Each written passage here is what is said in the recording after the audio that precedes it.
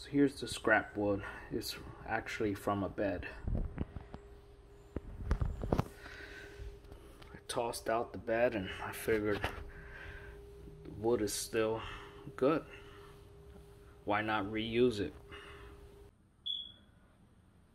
So here I built a radiator cover out of scrap wood from a old bunk bed that my kids no longer use.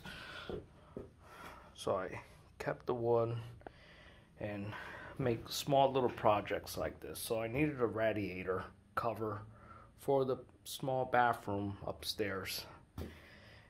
And about to start staining it. Just wanted to show you what I'm what I've done so far and I just pass a wet sponge over it so the wood will take in the stain that I'm about to use.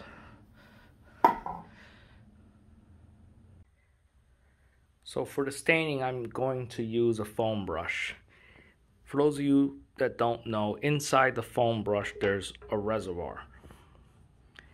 And mark your brush on one side so you're consistent with the same way you're spreading your stain.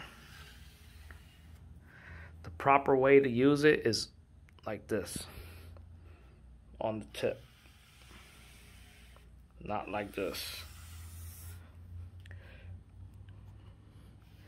When you use it on the tip, the stain that's inside the reservoir comes out nice and even.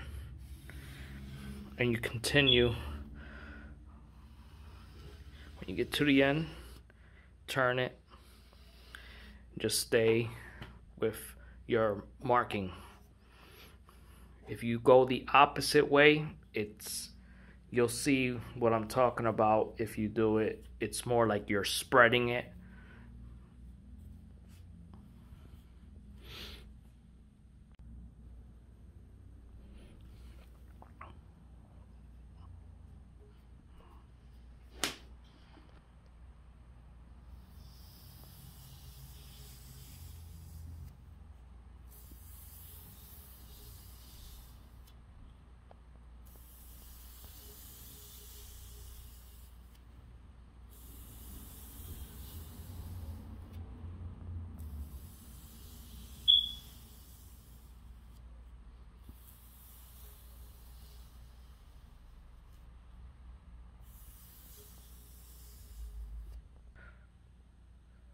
So this semi-gloss I purchased at Lowe's.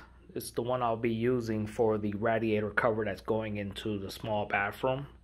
It's a mold and mildew resistant. And we'll see how it turns out. I'll probably be doing two coats